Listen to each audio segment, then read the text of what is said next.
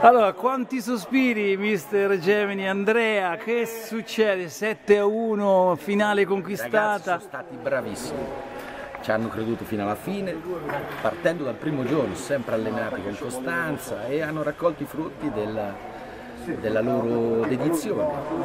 Io, io mi sono permesso, insomma, stavo lì col presidente della Sportwear e gli facevo notare come fai giocare questi ragazzi, cioè è, è un, un, perenne, un, perenne, quadratura del cerchio come dico io, cioè della serie se sterzi dietro, poi sposti avanti, zitti che si inserisce, cioè una, bello, bello da vedere. una mano, io ho provato a trasmettere loro qualche principio del calcio a 5.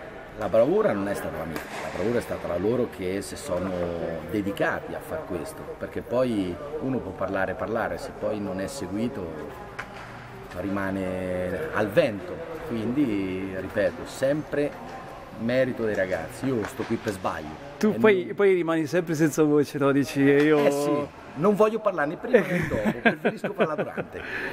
Questa finale, la prima finale dei, dei tuoi ragazzi... storia dei Foxes. Dei Foxes. Mi sembra il terzo anno, che... secondo. secondo anno, quindi c'è... È sì. ancora più concentrata la cosa, ancora l'evoluzione da rimarcare. Adesso ci giochiamo, ci godiamo la finale. Con una storica come il GSA ecco, che... Contro una grande squadra che fin dall'inizio è partita con, eh, con, i pronostici a favore. Adesso noi siamo lì. Con un rientro di Campetella che, che non è poco, non è poco per, per, loro, nel eh, senso che un 60... Vedremo poi come andrà a finire, comunque in ogni caso per noi è una vittoria già esserci. Se poi vogliamo completare l'opera, perché no? Quindi un, uh, un, 21 giugno con le scintille. Eh? sì, sicuramente, magari anche con i fuochi d'artificio finali. Complimenti mister, allora ci si vede venerdì. E grazie alla Sportwear.